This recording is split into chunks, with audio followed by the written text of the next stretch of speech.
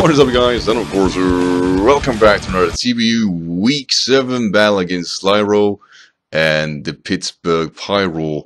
Now, I never battled Sly before, I really want to have that said before even going in. I'm looking forward to battling Sly for quite some time, but we haven't faced each other. We actually shared leagues, yet never faced each other. And we haven't necessarily gone out of our way to battle each other on an tier based level either, though with that said, I have a high respect for him. I think he's a very, very com competent battler um, and are a big fan of what he does. He's definitely one of those battlers that I feel are very meta heavy and can be really, really strange and out of his ways, really, and just pinpoint situations on an opponent which he can just log himself into and sweep from, which is a very, very rare case. It's a very strong thing he has and his team is pretty much what I consider that would be ideal towards my way. Of course, with Electabuzz, Clefable, Landorus, Lucario, uh, and Dragalge. Now, Dragalge is my main issue towards this battle. My team is as follows. A Scoffed War modest version, just able to outspeed Electabuzz. Outside of that, it's on the bulky side. Um, Mega Blastoise, a bit of speed investment, mainly to actually be focusing on not being crept by the likes of Clefable. Uh, and has, you know, the usual stuff here with both Scald, Earthquake, Ice Beam, and you believe in Flash Cannon. So a bit of a weirder set this time around, but mainly the Earthquake is for Dragalge. If it is around 40%, uh, I should be able to get it from that range. Uh, Roselia is uh, the one I benched, or benched off the bench from actually giving up Yellicent uh, Roselia here has Giga Drain, uh, Sludge Bomb, Toxic Spikes, and Synthesis.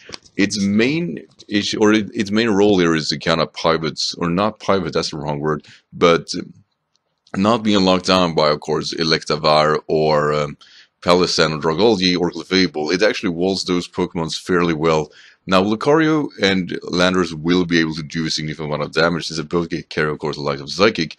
So I know I can take those um, ones and Roselia with some damage. Now, Lucario clearly walls this set really well, and I need to watch out for it.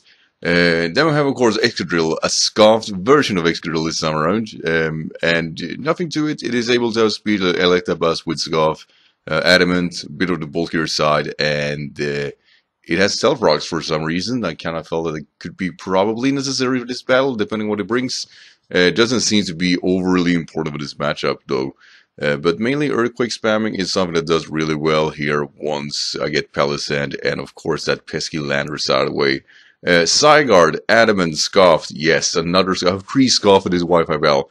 And um, the Zygarde here is, its main role is spam Thousand Arrows.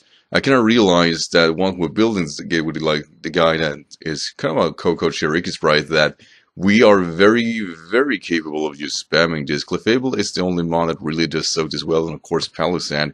But uh, there's just this environment of just spamming thousand arrows and not have a switch in. Yeah, that's gonna be rough for my opponent. Therefore, we're gonna do it. And Froslass is the usual stuff here with uh, Shadow uh, reduce or the Ghost reducing berry with Will Wisp, Spikes, Shadow Ball, and Ice Beam. Uh, those stabs does super effective damage against all of his team, or does at least neutral to Lucario and Clefable. Uh, very, very, very good set in general, and the speeds here is enough to speed creep, of course, a regular uh, timid or jolly Electivire, uh, or like a bus. Huh. Anyway, my main initial thought here was that uh, Gardevoir is going to be my win con depending on his sets. Gardevoir is able to, of course, snag adaptability or sheer force from Landorus. So depending on his Pokemon sets, I should be able to, with Gardevoir, uh, force him for heavy, heavy damage. Uh, with that said, though, the things I'm kind of uneasy with here is that I know that he really, really are good at switching in and out. He's not weak to any kind of hazards, and of course, even if I have Toxic Spikes, it's mainly here for Clefable and the Palossand, and of course Dragalge can easily come in and out versus my Roselia. That's a big issue towards me. Uh, should also be said, going into this game, I wasn't feeling the best, uh, since of course the Hacks loss versus of course uh, Ethan uh, last week with a 5-0 loss, uh, and the crazy hacks that was involved with that. I'm, I didn't feel, tough in my game, I, I was not interested in having this battle um, as competitive as possible. And it's not um, it's not a way to say that I wasn't invested in the game. I, tr I truly did want to win, but I definitely felt a little less inspired here. Even though the team is on point, uh, I'm still playing a game here of uh, can I use my defensive Pokemon offensively? And uh, yeah, it's it's clearly it's up for debate. Going against, of course, Sly. I have no idea how easily he could pull me apart. I mean, a Rock Polish with Landorus or um, a Guillotine Lucario are extremely dangerous towards my team and eventually could actually deal with me really well. And I don't found a way to actually tackle any of those sets properly. Um, I actually ignored it, hoping he didn't want to bring it. So, uh, with that said, me being dumb and all, let's see how this game turned out. Should be said also, I've sped this up this game a little bit, mainly because there are situations here which are just complete lockdowns. Uh, so I'm gonna leave with war. I'm just gonna scout the damage, I'm gonna trace the static, I wanna find out whether it's a Violite or if it is Scarfed, and it's definitely not Scarfed as Moonblast will secure that this is definitely Violite since I don't even do 50%. Knowing that and the Thunderbolt Retaliation, I'm not going to risk any other Thunderbolts because we know what happens if we stay into those. So I'm just going to go into Jormungandr, which is of course the Zygarde, and we're going to go for a Thousand Arrows, and basically, I know I'm baiting in of course the Clefable, but at least then I can scout how defensive Clefable is to this matchup, which is clearly, it has to be defensive towards me. Uh, there's no reason having Coil Dragon as I said because of Unaware. And we do those 50, 25%, which definitely indicated this is a defensive set. Uh, what makes this worse is that somewhere down the line I can't seem to take a Moonblast. Even though I have a lot of HP, I'm just wasting my time with Softball in mind. So I'm just going to send in Roselia as he goes for Wish. And I felt this was definitely okay. Um, I felt it's very likely that here comes Dragalge or Lucario. Either way is fine as I felt that, you know, if you switch into Dragalge, I get my Toxic Spikes up, and uh, they're there to stay till they switch in and out, and uh, it goes with Dragalge, which is great. Uh, but it should say with this situation, while Roselia just doesn't take a lot of damage towards Dragalge, I myself do not take it, take these any well either. Uh, he, I, I can't necessarily hurt him at all, actually. Uh, the reason I went for Synthesis here was I want to scout whether or not it was a speeder version and going for Draco so I can actually Synthesis that off. Uh, it is a, a, bulkier set and the damage output there really shows me that this is an Assault Vest version. This means one thing and this is actually really really annoying towards me. Um, since it is so bulky with Assault Vest, Gardevoir will not be able to actually even KO it from 50% with adaptability in mind, or it could can do it, but it's highly unlikely. So does stand against landers here. I just want the damage. I know I will survive unless it was a C-move fly, which basically what I was scouting up. And the range shows me that at least it isn't that uh, defensive, which is great. Um, so predicting the Earth Power here, I'm just going to go to my Jormungandr and I'm going to go for an Outrage here. Zygarde is not that important to this matchup, though it is very, very well rounded towards this game. I can definitely, I'd rather trade my Zygarde towards actually getting rid of Landorus since I am Scarf. So I go for Outrage, and he just lived with a slither of health, and that was like, oh dear god, no. Mainly because I this I wanted to basically Fable to come in and kill me, but this turns out to be a little bit worse. While I could trace now, the, of course, Chef Force and my Moonblast get a 30% boost, it still really, really, really sucks uh, because I could definitely pivot better around that with, of course, my Zygarde in mind. But we lost him, it's alright. Aquaria comes in, that's less alright since it takes away, of course, my Toxic Spikes. I need to switch out, I can't take a Sludge Wave. I really, really can't take a Sludge Wave. Feeling that's gonna go down, I'm throwing in, of course, my Excadrill as he goes for Scald.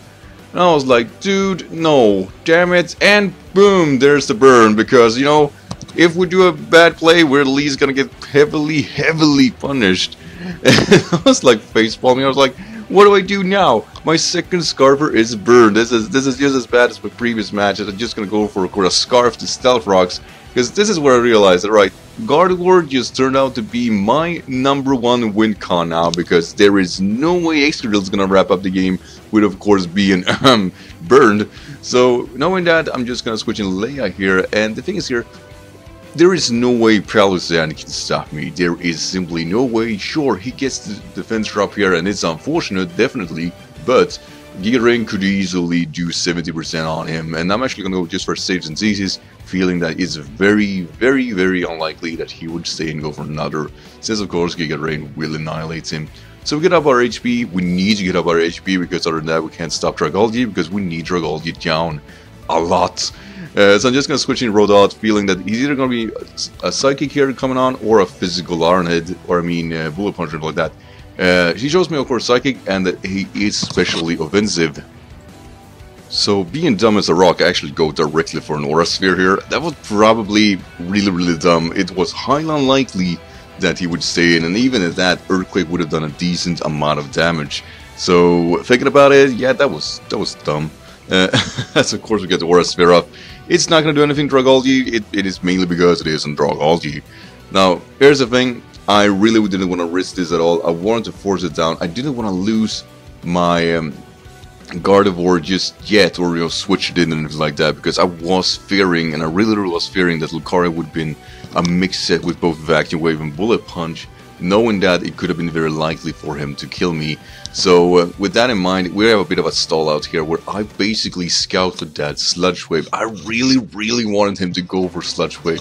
It doesn't transpire. I set up Toxic Spike on in his face, uh, mainly here because I do want to eventually force a switch somehow. As I just keep going for synthesis. I really, really mean this when I say this. I had no idea how to tackle this struggle. He keeps on Dragon Pulses, and this really, really scared me so much because not seeing any other move made this thing so hard to switch in and out on. So predicting another Dragon Pulse, I'm just gonna switch in, of course, my Kaysir. Basically because I was looking for that, of course, like I stated. Sludge Wave, I felt this was an easy switch in, as um, I just really want to bait him to keep attacking me and me go for an Earthquake. Uh, but I get an, a bit of a decent exchange here, because he does go for that defensive play, and go of course to his Palossand, which of course now is poisoned, and we can actually start whittling down really, really, really fast. And we want to really, really, really, really fast whittling down here. So um, the burn is gonna go, the left is gonna go, you know, all that jazz, you know, mm, mm, mm, beautiful, perfect, awesome, we want this. As I can easily go to Roselia yet again, and Roselia can do what Roselia does best, which is at this point just nothing. it's one of those really weird cases where I'm I'm trying to define what I really think about my defensive plays here because had he had some kind of setup here. He could very well whittle me down. Now I go directly for actually Giga Drain here um, as of course we don't do anything. It definitely I do get 2 HP back. We get 1 that means we did 2 or 3 damage here. So I'm just gonna go for Synthesis. Um, as stated here, we are still no range where Gardevoir with even that ability can KO this Pokemon and this is really really really annoying. So I'm just gonna go for Sludge Bomb here and we get actually just above or just around 50%. So we have a decent chance now where you know, we finally has the roll. And seeing that now I'm in a range where actually I would synthesis usually, I feel like he's gonna keep going for Dragon Pulse. Let's take this opportunity. Let's bring in Gardevoir as it goes for Dragon Pulse. And we now have Moonblast adaptability. That should be well more than enough to actually try to wrap up this game. And I say that not necessarily knowing whether or not his Lucario has, of course, a Bullet Punch. But here's the thing. He actually switches in the Electivire or Electabuzz, which due to the Self Rocks, will not be able to, of course, survive this. But that tells me one thing and really one thing only. He doesn't have Bullet Punch on his Lucario, there is no way, because he would have switched that in if that were the case. So now I'm starting to feel really, really safe, and I'm just gonna blast away. Like, there is nothing stopping this train. Gardevoir just got this. And um, I will be honest and say here, because even after Stealth Rocks here, the you will survive the Moonblast. Which just perplexes me. What makes this even worse is that he doesn't have the sludge wave. He never had it. I was waiting for something he didn't have. And that just perplexed me so much because I was really, really like baiting him, go for the sludge wave, show me that you got it so I can't switch in my Gardevoir whenever I want.